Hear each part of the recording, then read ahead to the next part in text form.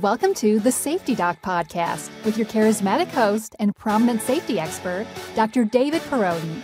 Be entertained and informed as the Safety Doc discusses both best and bizarre practices in safety preparation and crisis response.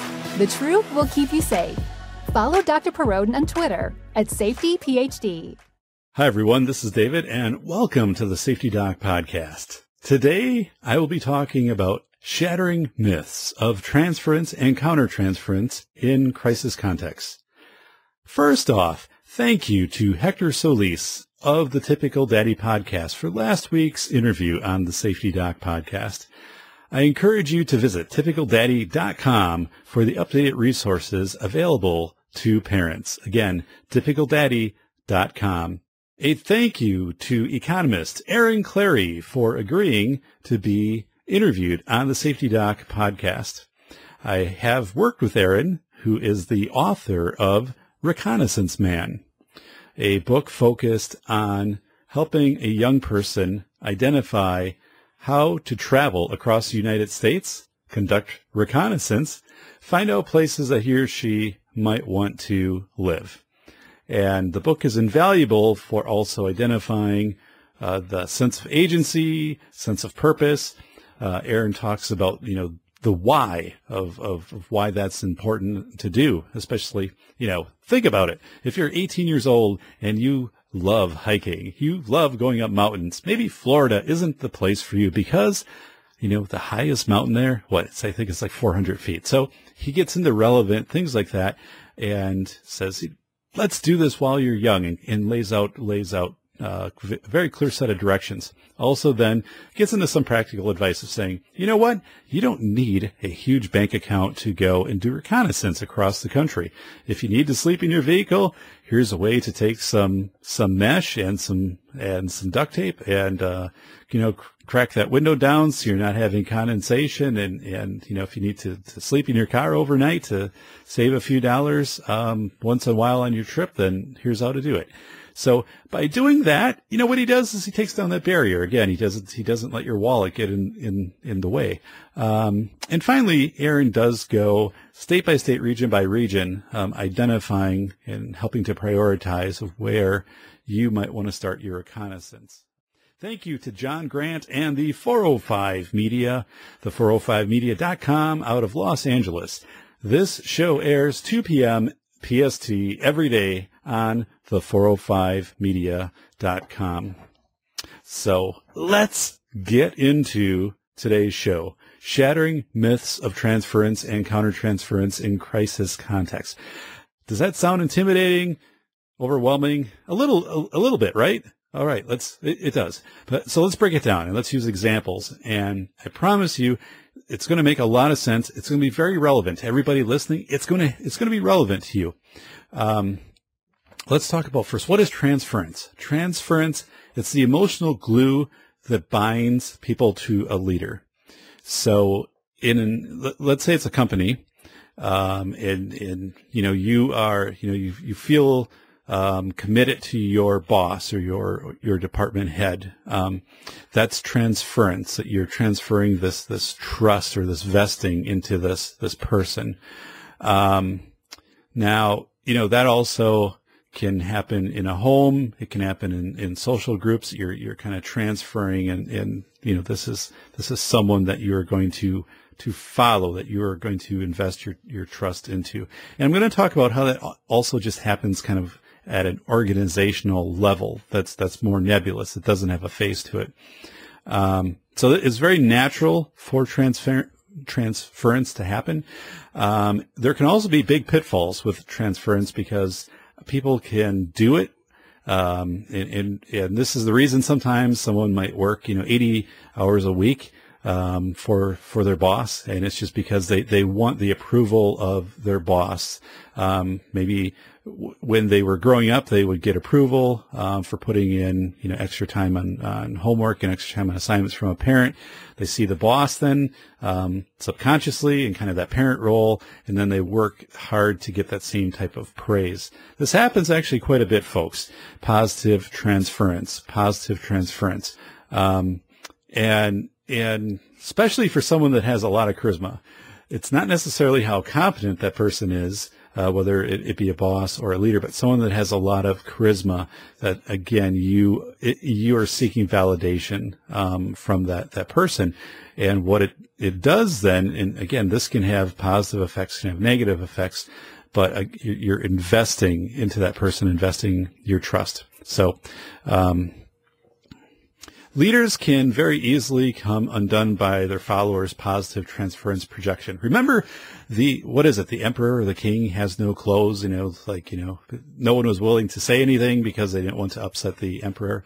Um, well, you know, another aspect of this is if all you're getting is is positive um, feedback from people that people are enamored by by what you're doing, enamored by by working with you um, you're not getting genuine feedback. You're just getting positive feedback and nothing to kind of help you keep that razor's edge. Um, and that's not what you want. I mean, you want people to give you feedback, uh, whether it be your friends or whether you want it to be your employees. So um, people that that walk around, and sometimes you'll see this with athletes. You know, they're they're reading the newspaper, they're watching what's on the sports highlights about them, and it's like I am just like terrific, I'm awesome, I'm great. And in the moment they start to to buy into all of that hype that is out there, which generally, you know, the people feel and they're packing the stadiums and whatever, um, you know, they they can start to lose the edge on their game because like, well, I don't have to, to practice anymore. I'm like, I'm, I'm already there. All I got to do is show up, you know, just put the uniform on and, and the magic happens. So, um, most, most good leaders though, most good leaders don't buy into their followers' idealized images of them. So they recognize it, but they don't buy into it. Most good leaders. But there are leaders who do have, you know, we talked about this positive transference, but there are leaders out there who very much want to be idolized by their employees and, and want to have accolades sent forward to them from their employees. Um, so, you know, it's, it's very tricky with transference. Once you start you finding yourself in a transference situation, I'm going to talk about a time that, that I actually encountered that. Um, it, it's you lose you're not objective anymore. It's not about you it's about the other person or it becomes about the other organization.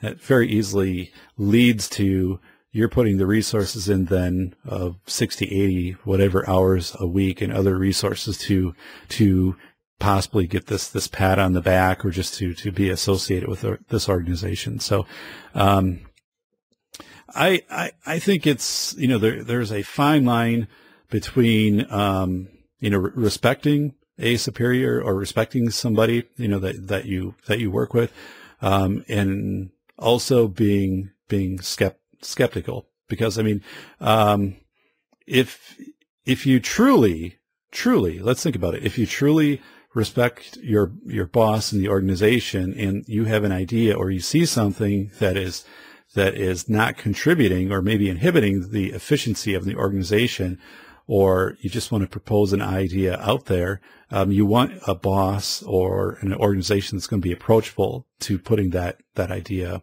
forward. Um, so sometimes, and sometimes you have to be let's let's be honest. I mean, you always have to look out for your own best interests. You have to be skeptical of what the organization is doing, or maybe even you know skeptical of some global you know policy acts that might be happening that might be affecting the field that you work in, and you know looking out for yourself and saying ah, i need to be i need to be aware of this versus just saying ah things will just work out. You know like my boss knows what he or she is doing and the company knows what it's doing so like everything's going to be fine. I don't even need to concern myself with this. I'm giving my positive transference forward. I'm vesting it into the company. So i'll, I'll talk later about how something like that happened with uh, the ford motor company and what what that actually looked like so um, I so when I took an administrative position um, a few years ago, uh, one of the things I did is I, I, was very enamored by the organization and you know where it was was located.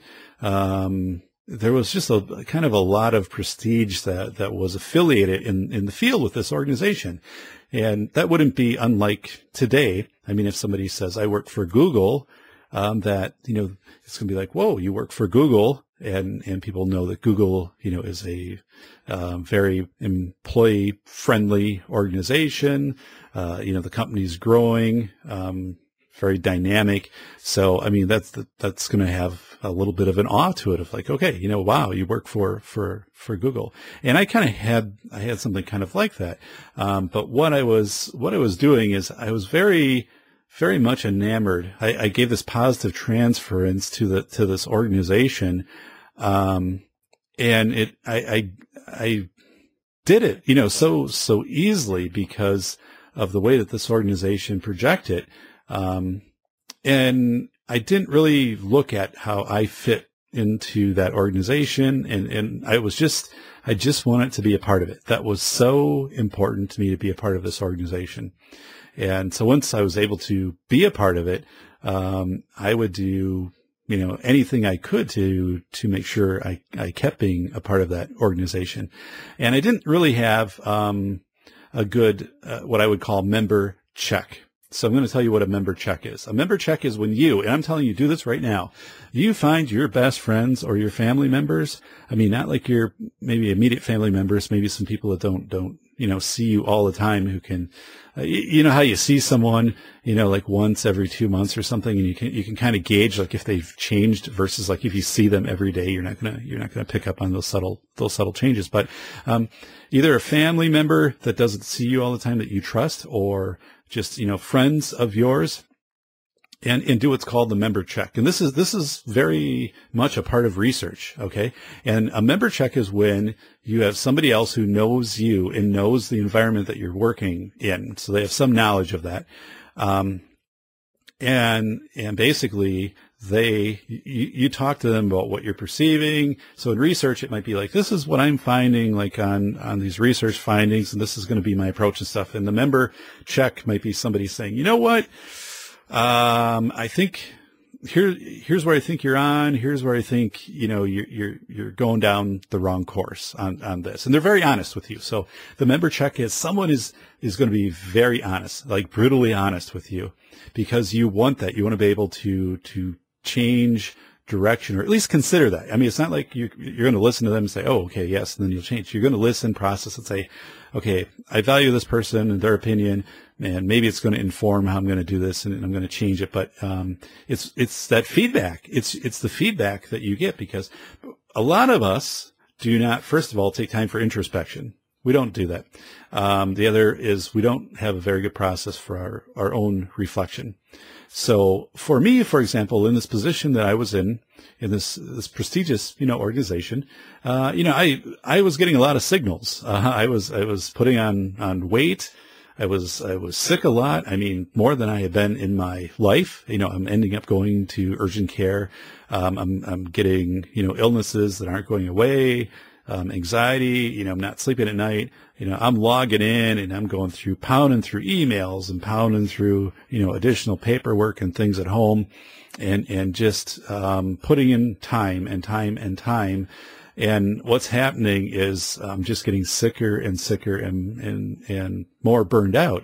Um, and it, it, it, not realizing though, of, of what's really happening. Like those symptoms are there, but the overwhelming thing is I have that positive transference of I, I am so transferred into wanting to be a part of that organization and validate it by being a part of that organization, by, by wearing the apparel associated with that organization, being able to, to have that business card with that organization. Um, I really, uh, lost the ability to, um, do introspection or reflection. And then I didn't have a member check. I didn't have somebody who could come to me and, and even if they knew I might be upset and say, you know what, you're not happy. Um, you haven't been happy for a while. Here's, here's what I think, you know, is, is going on. Here's how you're presenting.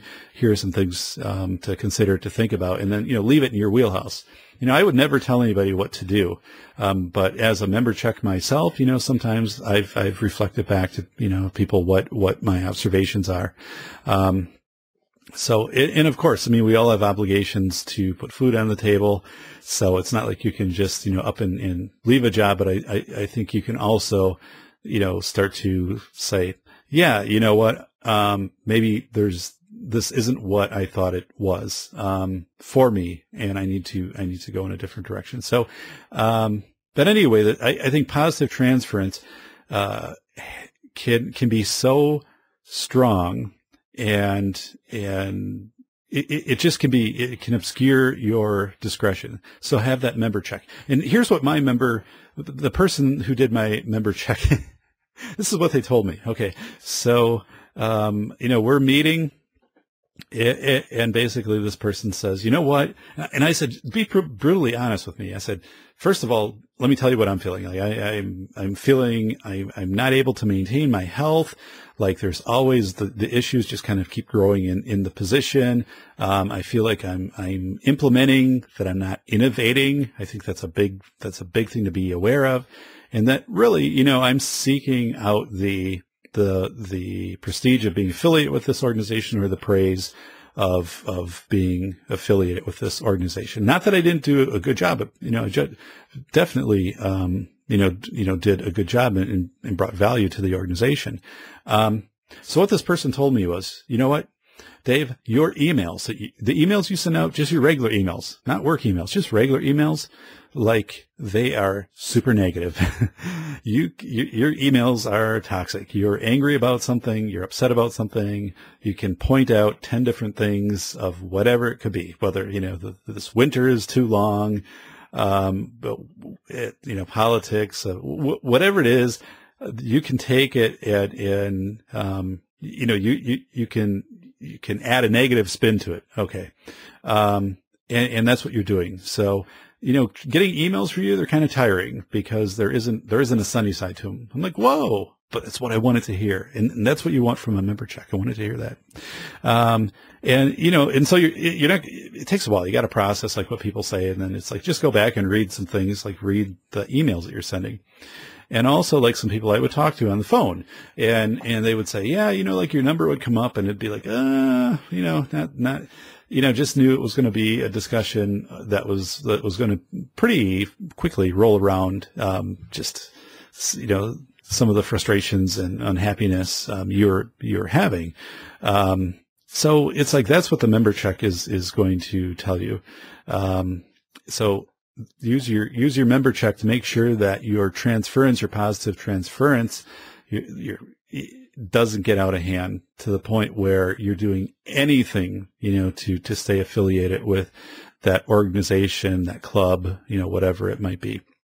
So, um, you know, from a safety, um, uh, from a safety standpoint, you know, that's, that's very important now for physical safety. I mean, my well-being, my health, um, you know, and, and then also just, you know, your psychological safety, you know, it, it just grind, it, it grinds you down.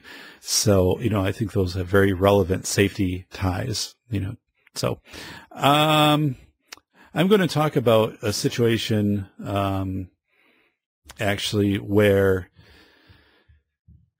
the, having, having this sense of, of this complete um, transference into an organization uh, proved deadly.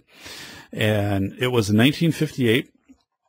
It was um, a fire broke out at Our Lady of the Angels School in Chicago, Illinois. So the teachers, uh, so it, it, killed, I believe, 92 students and and some of the nuns who were teachers. Um, uh, the the teachers had looked in vain for the school principal, were so much um, enamored, uh, had, given so much transference, positive transference to the school principal that they weren't going to evacuate the building or do these things unless like they had the approval of, of this principal because, you know, this is how the system went. Even though like their best interest, their gut feeling, obvious would obviously would have been, you know, we see smoke, um, coming out through under the doors and we can smell the smoke and all of that, that we need to evacuate the building and, and do all that needs to happen. No, it was, there was so much positive transference, so much vertical in this organization that it, it really inhibited the individual's ability to um, act in the best interest of self and others. So they were seeking out like that top person to make sure it was going to be okay with them, um, that they weren't going to be upset if if they you know um, evacuated this building. So, um, which ended up, you know, costing time and there were some other issues with this, but whoa. So, but that happens, you know, um, I don't want to be yelled at for my principal because of evacuating this building. That was one factor along with others, but that's an example. Um, so we talked about that article, uh, written by Mr. Jaco- um, uh, Maccoby. So the transference dynamic is most likely to get out of control during periods of organizational stress. This is this is uh, per the author. So, um, and yes and no. Okay, so his yes part to that is saying if let's let's give an example. When I was working in um, a school district and in Wisconsin, Act 10 passed, which meant that uh, the schools would no longer be able to have have unions, and also that that uh, teachers would be paying uh, a portion of their retirement. And so, I mean, it was a very uh, it was a time when tens of thousands of, of people marched upon the, the state capitol. But I remember teachers during that time, and I was an administrator. I remember teachers at that time actually crying, like just uh, visibly shaking and crying. And it was, and they were doing that, um, because they were so uncertain of what was going on, but they had given power the transference. Okay. They, they had, they had given transference into the, the head person and then also into the school board. And that's where their transference was. So they, they waited, uh, for a, a, all staff, um, in the the Performing Arts Center, the school board, and and the leader of the school to come out and basically say, you know, we're committed to you know making sure that we treat employees fairly and and everything that they could say. But the reality was, um, there was it, this was all beyond their control. This was this was at a state level. So, um, but once people heard that, you know, that they had given this positive transference into into this leader and then also into this board, um, without like that, you know, completely irrational. I mean, the rational side, the being irrational would say, it doesn't matter what they say. They're, they're not in control of this. This is being passed at a, at a state level. They're, they, they are, they are now just actors, agents in this process. So they're going to have to carry this out however the state dictates it. But this irrational thing of, of needing someone. So it's just like if you're, a, a, kid, you know, you're five, six years old and you scrape your knee and, and you need someone to tell you it's going to be, you know, okay, um, or something to that effect.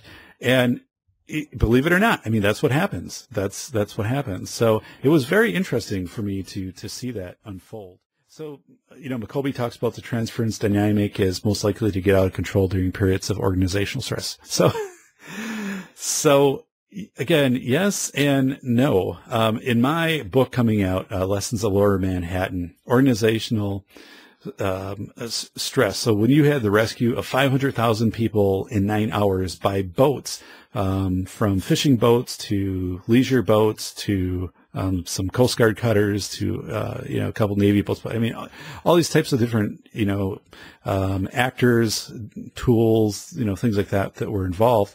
Um, and a, a, lot of chaos, a lot of turbulence.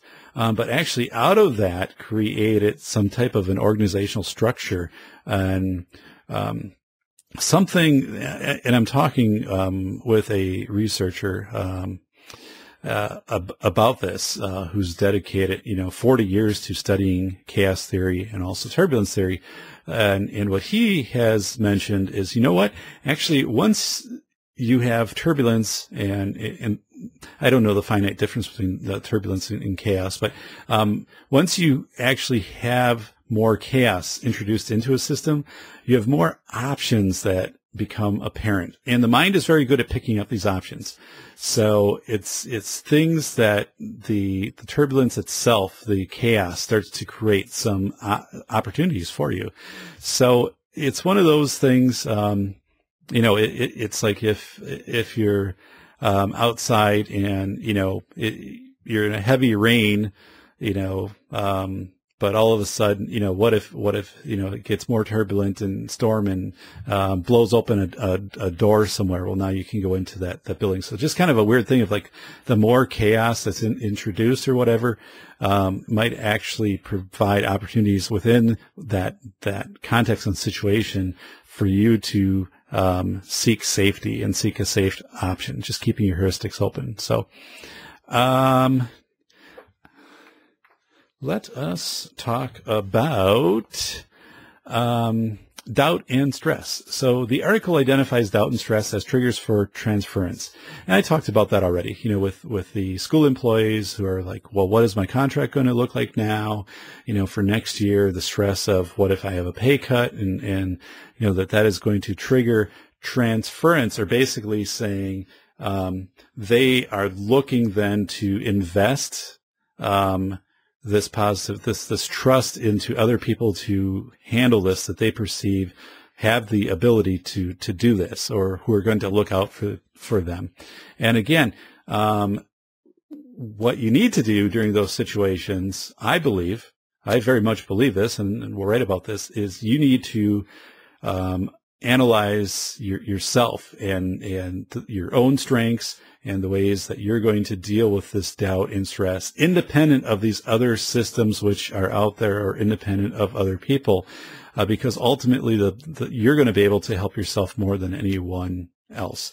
Um, and if you are transferring, you know, you're triggering this transference. So, you know, if we just look at it, if, if things become uneasy, um, it, in going back through, you know, history, once, you know, things start to become uneasy in a um, political climate or, you know, with a, a, war climate, it's pretty easy to get people to go along um, and to transfer their trust into this greater organization or, or into a person. Um, it's easier to do that during times of, of doubt and stress and uneasiness. Um, you know, if the stock market all of a sudden drops by 2000 points and, and doubt and stress enters, you know, your life, um, you know, you're, you're going to, you know, transfer this, this trust into the Federal Reserve and the government when really it's like I should be looking at my own, um, resources, my own lines of income, the assets that I have. Um, if I'm how do I take care of, of my own fiscal well-being and, and just also, you know, is this now an opportunity for me to learn how to pick up a skill or a trade so I can, you know, I don't have to take my car in for an oil change. I can learn that on my own. So, I mean, it's that whole difference from introspection and reflection to just jumping to transference of saying, I'm going to find the superhero person to fix this for me um, you know, the Ben Bernanke, the, the Janet Yellen, whatever it might be. So, um, again, when you have that feeling of transference, of looking outside of you, look back inside of you. You look at yourself. You look at your own skill set. How can you strengthen your skill set? For example, um, you know, things like that. How can you manage your own dollars versus again, someone out there is going to fix it for me. There's the person. I'm trusting them. Now I'm okay. Like I've, I've given that. And that's maybe because when you're raised, um, if something broke, possibly, you know, something, you know, broke down on your bike, you know, your, your chain broke or something on your bike, you know, a parent would, would take the bike and, and get a new chain put on it or something like that. So, I mean, it goes back to things like early on. You see people who were very self-sufficient as kids uh, who did handle a lot of these things on their own. Uh, when doubt and stress hits them later in life, things like what I just talked about, like that stock market drop, they're less likely to jump to this transference versus like looking at what can I do myself to better position my, you know, my finances and my own skill set to weather this. So, um, doubt and stress, yeah, triggers transference. It also, though, there's another part of this that wasn't mentioned. I think it, it triggers people want information. People want information. So the I covered this in a podcast, the Joseph Jakubowski manhunt in Wisconsin uh, a couple months ago. Uh, he, you know, he broke in, stole a number of firearms, wrote a manifesto to an anti-government uh, manifesto, sent it to uh, President Trump. Um, and there was a manhunt for, you know, like about 10 days for him. But as I read through the Twitter posts, you know, the hashtag like Jakubowski and so forth, um, about one third of the Twitter posts, it was just people that wanted information. That's what they wanted. They just wanted to know, like, okay, like, who's all searching for this guy? Where are they searching? What about him? Where did he go to school? You know, like, you know, are there any more characteristics about him that you can share in case I happen to see him? I mean, there wasn't a lot shared. So it was just people that were information seeking. And I think doubt and stress also brings about that information seeking. It's the fear of the unknown. I don't know if even if it's the fear of the unknown, it's just, you know, that, that unknown leaves this void or this craving. And, and so bring forward information to people. Um, and even if you say like, this is what I know, um, and, and, you know, this is it, then, hey, you know, like that's, that's fine. Um, but again, doubt and stress, you know, it triggers that transference. Yes, but I think it also puts people where they want information. And when the mainstream media is not giving them information, which in this Jakubowski thing, there wasn't a lot coming out at all. Um, and it it really was this void of information that was was getting people anxious. So, um, dun, dun, dun. maybe that was kind of obvious to say, but um, it is it is much better to for someone to have transference, um, even even if it's a very remote hope. Okay, like transference of there is you know there's a division of you know Americans that I I I am convinced you know is is 20 miles away. And this transference of I'm giving all of my trust to this division, which may or may not be out there um, and to hold that hope and then to to give up. Viktor Frankl would say once people would give up and he'd see the blank stare and they wouldn't respond, that was horrifying, absolutely horrifying. So it is better to obviously um, subscribe to some kind of, of hope, even if it's a rash, even if it's irrational, and, until a situation like that, uh, like that kind of um, you know resolves. You know, like the camp is liberated. So. Um, Let's talk. Oh, I, you know, I think something really interesting happened in the 9-11 boat rescue. So September 11, 2001.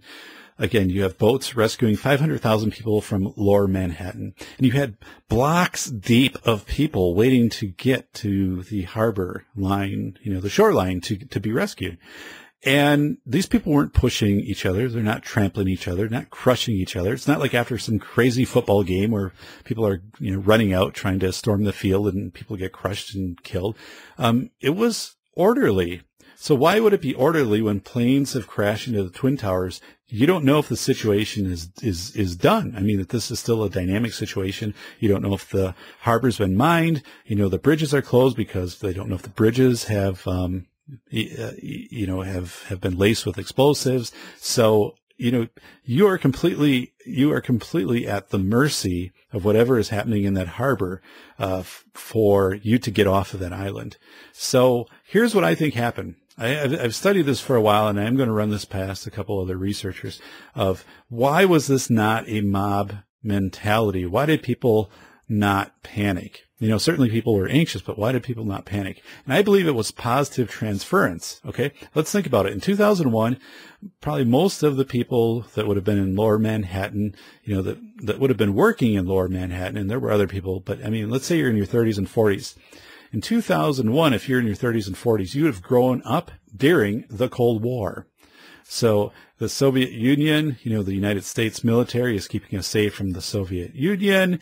So you would have had some indoctrination of, you know, positive experience um, with with the military. Even, you know, like the military is here to protect us. The military is here to serve our best interest to keep us safe.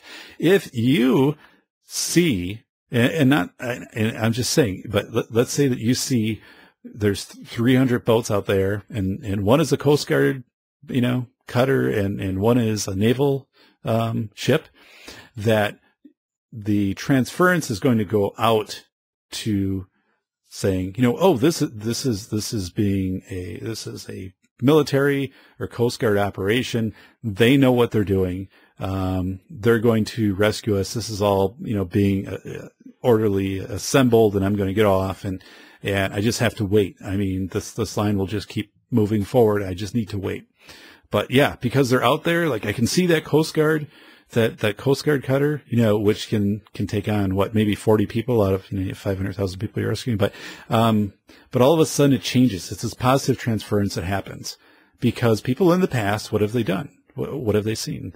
They've seen, you know, military positively project it. Um, and they have been, you know, have been told, you know, we have to stay vigilant. We're keeping you safe from the Soviet Union. So this, this is the era that these people were raised in, um, you know, which would have been my era. And, and so they're projecting this, this forward. They're doing this positive, this, this positive transference. So it's fascinating because I'm not sure that would happen today. I'm not sure that would happen. You can only speculate. Um, and you'd have two scenarios that you'd have to look at um, today. And one scenario would be like if there was never a September 11, 2001, and there was only like a September 11, 2017, um, how would people react? Because, um, you know, people would probably, you know, have not gone through that Cold War experience. You have much, you know, many fewer people that have gone through that. Um, the other, um, you know, part of that is if, if you had a scenario where something happened now, people would probably pattern back to knowing that there was, uh, you know, that there, there were all these rescues, um, that, that happened on 9-11 and they would expect that that would replicate again for whatever, you know, terrorist attack that there would be. So you know, one either of those two scenarios um, would would come into play. But I do think the reason there was not this this, this crazy mob mentality pushing over each other to get up to the shoreline and, and fights breaking out and just sheer panic um, was because of this positive transference that happened um, because of what was in the harbor.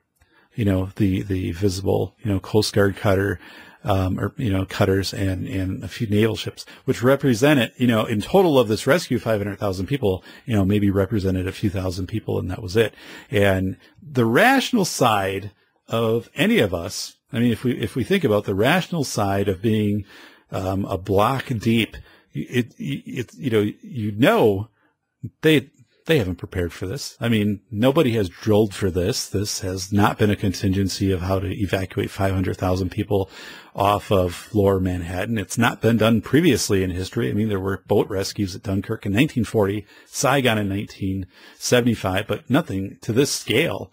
Um, so, you know, rationally, if you thought about it, you'd be like, there's no way this is, this is going off of some predetermined script or that they've worked together or that there's really an instant command system in place here that's dictating this. So what's going out there in the water is, is, is got to be chaotic and, and, all of that. Actually, which it wasn't, which was surprising. But, um, but the rational thinker, I think would have, would have been much more panicky than the irrational thinker who was willing to give up because of, of this, this, the stressful event was, was able to look and to default and to throw out that positive transference of saying, no, I was raised as a kid, you know, the, the and, and the military protected us from the Soviets. This is kind of a military operation. They're protecting me. They're acting in my best interest now. That's all I need to know. This will work out. Um, you're still anxious, but this will work out. And I will be writing about that, by the way. Um, so, uh, dun, dun, dun, Let us talk about, um, about the leadership. Okay. So in the leadership today, especially in schools, for example, I mean, a school principal, superintendent, two, three years, and then you're gone if you last that long. Teachers, uh, turnover is accelerating also. So you, you don't have these institutions where people are there for decades and you can have then what's called distributed leadership coming down through these organizations or, or, or, people at different levels are given opportunities to lead projects, to, to lead people. And, and you kind of have these leaders who emerge through these experiences. That takes time. It's called distributed leadership. And it also, you know, is in the tools that people are using. Um, you know, like in a school, it might be, you know, part of flip charts that are developed and people are used to, to the flips that charts um, that they're used to practicing drills, things like that. But again, if you have turnover and new people, new actors into this, um, it, it, it, completely um, it, it's a completely different environment now. So this whole thing of distributed leadership is is kind of out the door, and I'll talk about that sometime in a podcast in, in more detail because there's people who argue that we still have uh, distributed leadership models and that you can still put these into systems. And I'm saying eh, it's not the way that it works anymore, um, especially with millennial uh, the millennials. You know they're they're changing jobs at a very frequent pl- pace. You know keeping their options open. Um, they prefer to work um, independently for the most part. They, you know, like work from home, work from a laptop somewhere. Um, and so one of those things too of, you know, like our organization needs to change. We need to be less vertical because, um, you know, for the millennials, we want to do, you know, team building and have them work in teams. And the reality is no, like a lot of millennials have not worked in teams. I mean, they're, they're, they will work individually. If you put, here's what your, here's what I need you to do, then you can do it from home or do it from where you want. And, and that's what they want. That's what they want. Um, you know, like my generation, let's think about this. And, and, years ago, I mean, you're going and it's a summer and you're playing sandlot ball. I mean, you had a lot of horizontal um, collaboration and and you know kind of sifting out who who automatically became you know the leaders of different groups like the you know different baseball teams. He almost kind of defaulted always to like the older kids, but um, or it might be just the kid who's you know a couple kids are really good or whatever it is. But but he actually probably did more of that like back when I was growing up. Um, but the millennials, I mean, and a lot of stuff is it's the play dates. I mean, things have been planned out for them.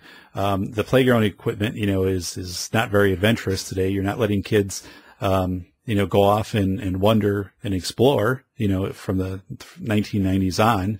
Um, you know, you, and plus, I mean, they're connected via via social networks or whatever, so somebody always knows where they are. So I'm just saying th- this this thought of of leadership. We need to change leadership um, because uh, people, this whole thing of transference right now with with you know millennials, they're not going to to to want to um, you know give this vesting to bosses and things like that. They they just want kind of the project and work on it, and and they'll they'll work together, you know, with each other. It's like, well, whoa, whoa, whoa, whoa, whoa. They'll they'll they're more individual than what you think. Probably more individual than any um, group of of of workers we've ever had. I mean, they're, they're, they're more individual. So I'm saying with that, you know, that this whole transference thing, um, I, I, I don't think, you know, trying to push down and flatten into horizontal is, is going to, to do any good, you know, versus doing that versus vertical. If anything, I think vertical probably works better. Um, because then they, they know who their point people are to contact and to get their things into, but they're they're going to work very independently.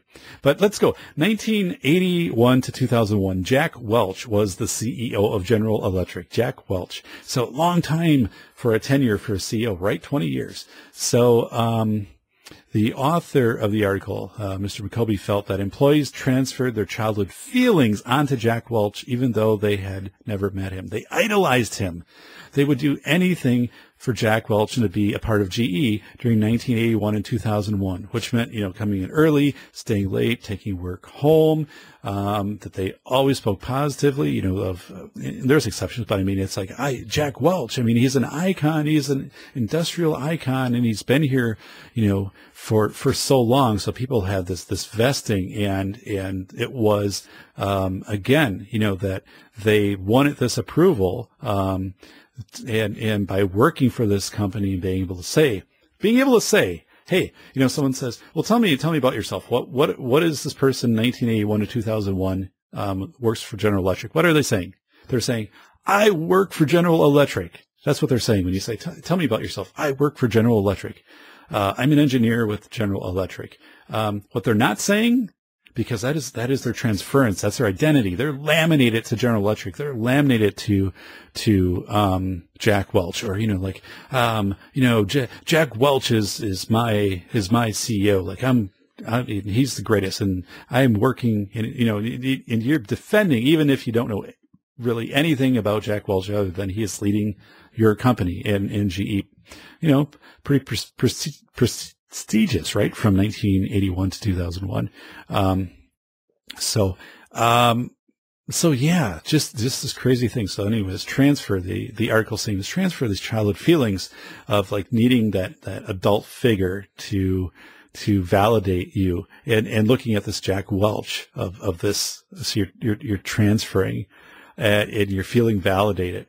So these are people who put in all of this time and back then, you know, 81, if you're starting there, you know, realistically, yeah, you, you probably could work a whole career there, but I mean, that's not the way things are anymore. So, um, just, just really, really crazy stuff, how transference can, can you, you get laminated to it. Again, someone asks you, you know, tell me about yourself. I work for GE. My boss is, you know, Jack, Jack Wolf. He's, he's the head of, of the company and, you know, it's General Electric. And, and, um, instead of saying like, um, okay, yeah, I'm, I'm, I'm married. You know, I have, uh, I have, uh, three children, two girls and a boy.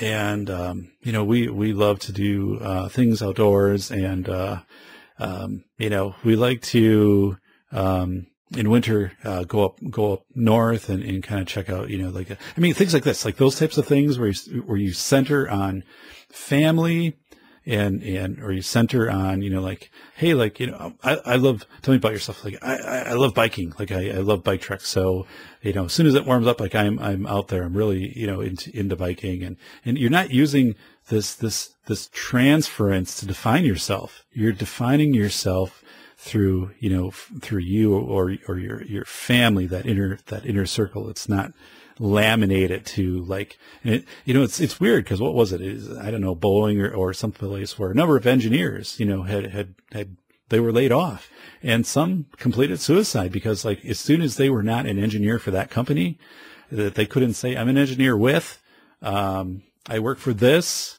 as soon as they couldn't do that um, they they lost their purpose they lost their agency. Their agency had been transferred. They had, had become defined and laminated by having that job title. And the moment they didn't have that anymore, boom, it was over. And you'll see this sometimes with people that retire. As soon as they give up that position that really became their identity, uh, they lose it. You know, they, they, they just can't handle it. So, um, it, you know, so like the modern day equivalent of GE would be like someone saying, I work for Google. But, you know, the people that work for Google, um, you know, that's a, a number of them have, you know, pretty well rounded lives. And I know that from, from talking specifically to someone who works at, at Google, um, of the interest of his, his peers and things that they do. And I think Google fosters that as a company. But certainly, um, if you work for Google, there's going to be a number of people say, I work for Google because I mean, there, there is, there is an aura, you know, that, that is, that is with that. Um, which is, which is obviously okay and to, to do that and things like that. But it's, it's like, do you say that? Um, what if you say like, you know, I love astronomy. And by the way, you know, I, I work for Google and my schedule's flexible. So I have, I have times to, you know, when, when there's certain star patterns in the sky, I can change my schedule. So I can, I can, you know, stay up a little later at, at night and then go in a little bit later to work. And it's really a cool thing. So, you know, I'm just sorry, those little, those little things. And how do you define yourself out right now? Like if somebody asked you, like to tell me about yourself, what are the first three things you're saying? And if you're starting right off with work, you have given up too much transference. You have given up too, tra- too much transference. You need introspection, reflection. You need a member check because that is not what you do. Okay. If this is what you're doing, that's bad. That's bad. Okay. Um, dun, dun, dun, dun, dun, dun, dun. You guys like this music, don't you? So, um, anyway, let's move. Let's move. Let's move. Let's move. Let's move. Um, dun, dun, Dun, dun, dun, oh, okay. So I'm going to get into the part now of counter transference. We talked about transference, you know, so again, basically it's, it's like you vesting, putting, you know, into this, this, this other person, um, uh, or, or this other entity. And again, I'm saying you have to be really careful if you're doing that and at least be aware that you're doing that. At least have the awareness or someone to bring that awareness to you. And I think you can ask now that you've, you've, you've participated in, in this show, you can ask someone to say, are you seeing transference in me? Like, am I, you know, am, am I just like totally, um, you know, put the blinders on and, and willing to do whatever for like this organization or this group or this person or whatever. Um, I think that's really, that's really, um, that's really important. So anyway, countertransference. So it's when the follower projects his, his, okay. So the follower is projecting his past experience onto, onto the leaders. Um, but the leader then responds by projecting his or her past experiences back onto the follower. So let's think about this. Maybe there's a leader and again, a lot of this is done at the subconscious level. And the leader is, is looking at a new employee and, and seeing some of the things that the employee is doing and, and is, is all of a sudden, you know, opening some doors, opportunities for that employee. And, and what's happening subconsciously? It's like, boy, you know, that, that employee reminds me of me when I was young. like, you know, I was, I was innovative, you know, um, and I want this person to, to have some opportunities to be innovative. And again, we talked about being an innovator and not an implementer. An implementer, I mean, is someone who just carries out things. An innovator is, is someone that creates things. So maybe this, this person is, is getting all the, these uh, opportunities, um, which are being created for them just because they remind this person of what they were like when they were young. Or maybe, um, you know, that they, they have mannerisms that remind them of somebody that they worked with who was an excellent colleague. Um, I mean, it could be, you know, just things like that, that, that, that have those, that, that cause that counter transference. Um, so that, that definitely happens too. And I think sometimes that counter transference, um, you know, needs, that needs to be checked. Other people can probably see it um, and be like, why is it seems like this person's getting a lot of breaks here. Let's deal with that. Um, and it, it can be the case of this countertransference of, of you're, you're just wanting that person to succeed because in the past, you know, you have memories from the past that they're reminding you of, you know, they're, they're, they're bringing these forward. And, and again, so if you're in that leadership role versus even, you know, the employee role or le- leadership role, you need a member check and someone saying, Hey, you know, like, been giving Terry like a lot of breaks on this on this project, um, or, or like um, you know some professional development. But um, Terry hasn't been here that long, so but some of these other people have. Um, so why aren't these people getting the professional development? And, and it's like you, you, probably don't realize it until it's like, oh, oh yeah, like you know, um, it those things are those things are hard to parse out. So, but anyway, this whole counter transference, um, you know, it, it can be as subtle as if someone reminds you has this positive. It can also be negative. It can be like a great employee, but guess what? Like they they dress similar to someone who really um, you know rubbed you the the wrong way at at at work or, or just a, a, relative or even like a haircut or their the tone of their voice or something that makes this association and it, it just brings out this this this negative transference from you um, so it is those types of things where you just need to, to have this, this hyper awareness. You might say that doesn't happen. Yeah, it happens all the time. And it's hap- it, it, it probably happened actually today, you know, at some level or this past week, certainly in some minute aspect that happened to you. So really think about it. Be aware, um, be in the moment and, and process, you know, process that. Be aware of counter transference because it is, it is there. Um, you know, and it's like a coach, you know, who just, you know, keeps putting the same player in the game, even though that player is struggling or it's, it's a mismatch because when that coach was young and that coach was playing, the coach, you know, could see the grit and could work, you know, had a situation where, you know, felt he worked through this and this person's going to work through it too. And everyone in the, in the stands like, whoa, whoa, whoa, whoa. That person is just, they, they, it's not working out. This isn't their day. They got to get them out and you got to get somebody else in. So, um, and and you end up costing the organization then costing the team costing the organization. So um dun, dun, dun. youth give up some of their own views and embrace views of parents adult figures as unquestionably correct. So i'll talk about this uh, when i interview uh, aaron aaron clarey because it's relevant to his his work. Um, but it is where you know youth will embrace. So if their parents have, uh, you know, certain religious belief, if the parent um, has a certain bias, um, the the child will will take that on. They'll embrace that view of the parent versus fostering their own view and debate for themselves. Uh, I had uh, honestly, I did not own a vehicle with a sunroof until I was in my 40s, and the the reason I didn't is because I had always been told by my mom, always been told by my mom, sunroofs leak. They always leak unconditional. It's a rule of sunroofs. So I didn't get a sunroof. I never, I, I, I just was, it was a rule out. Like you check the box on what you want on a car, sunroof not checked. Why? Because it leaks.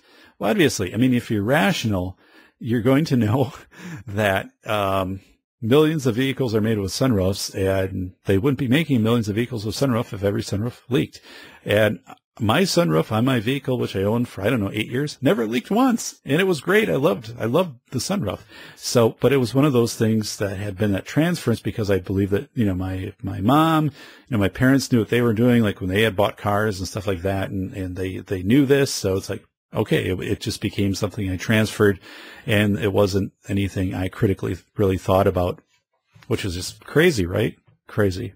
So, um, I, am going to give uh, another example back to when how you know, you define yourself by the company. In the 1930s, okay, the Ford Motor Company would give out pins, lapel pins, and they would have the Ford, you know, logo and all that.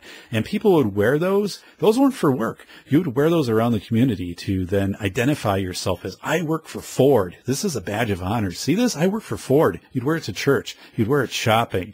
All right. You wear it when you go out eating. I work for Ford. And that was, again, you know, that, that meant something. It was like, it was proud. I mean, I'm, here it is. Look at it. This is, this is Ford. I work for Ford. Um, so yes, that person, you know, well, you don't already have it out there. What do you do? Uh, tell me about yourself. I work for Ford. That's what they're saying. They're they're just completely giving up their transference into this this this company into you know to Henry Ford and, and just you know this his sons. Ford, Ford, Ford. What is it? It's Ford. You can go on eBay. Go on eBay. You can find the Ford pins. You can still buy them. But that's what people would do is they would wear those. They would wear those all around. It could be a family gathering. It could be a picnic, whatever. You had your Ford pin on. So yeah. But that kind of transference then takes away the questioning the skepticism too, and and then also identifying is this really you know right for for me? I think there's loyalty. I think all of that's there too, but you can see where this transference starts to come in. If the company's looking out for me, it's going to look out for my kids like it'll be there forever. Well, no, no, it's not the case. You look out for yourself first.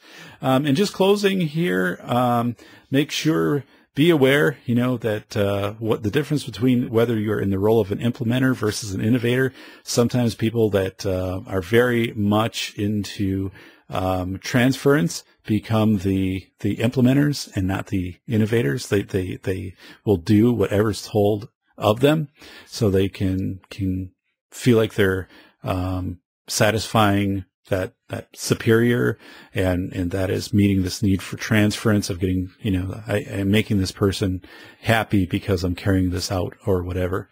Um, yet the person really you know you want to be an innovator.